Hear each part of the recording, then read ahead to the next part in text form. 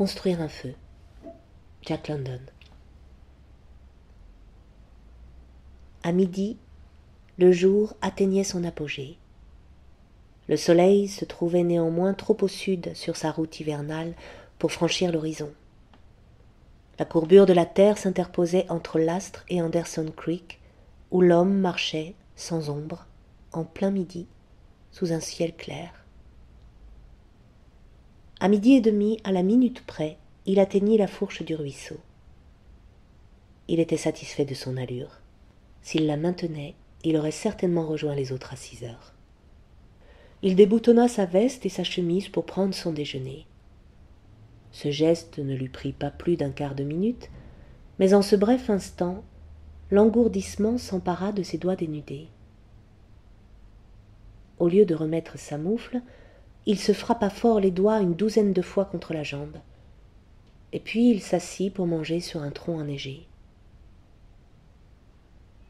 La morsure provoquée par le choc des doigts contre la jambe cessa si rapidement qu'il en fut surpris. Il n'avait pas eu le temps de mordre dans un biscuit.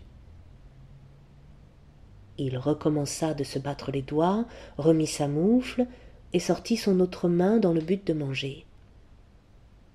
Il tenta de prendre une bouchée, mais sa muselière de glace l'en empêcha. Il avait oublié de construire un feu pour se dégeler.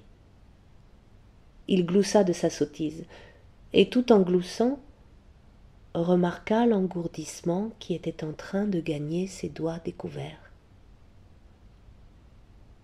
Il remarqua aussi que la piqûre qu'il avait d'abord sentie dans ses orteils lorsqu'il s'était assis était en train de passer. Il se demanda si ses orteils étaient chauds ou gourds. Il les remua dans ses mocassins et conclut qu'ils étaient gourds. Il remit hâtivement sa moufle et se leva.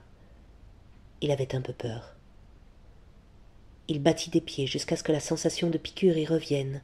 C'est sûr qu'il fait froid, pensait-il. Ce type de Sulphur Creek avait dit vrai quand il avait raconté combien il pouvait faire froid parfois dans ce pays, et lui en avait ri sur le moment. Ça montrait bien qu'il ne fallait être trop sûr de rien. Pas d'erreur. Il faisait froid. Il continua d'aller et venir en tapant des pieds et en battant des bras, jusqu'à ce que la chaleur recouvrée le rassure. Alors il sortit ses allumettes et entreprit de faire un feu. Il trouva du combustible dans le sous-bois où les crues du dernier printemps avaient entassé une provision de branches mortes. En commençant avec prudence, petitement, il obtint bientôt un brasier ronflant devant lequel il fit fondre la glace de son visage et sous la protection duquel il mangea ses biscuits. Pour le moment, le froid de l'espace était vaincu. Satisfait du feu, le chien s'était étendu assez près pour profiter de sa chaleur, assez loin pour éviter d'avoir le poil roussi. Quand l'homme eut fini, il bourra sa pipe et s'accorda le temps de la fumer à l'aise.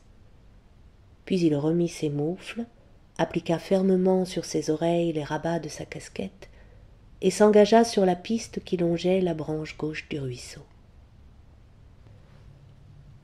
Le chien, déçu, regardait le feu avec regret. Cet homme ne savait rien du froid.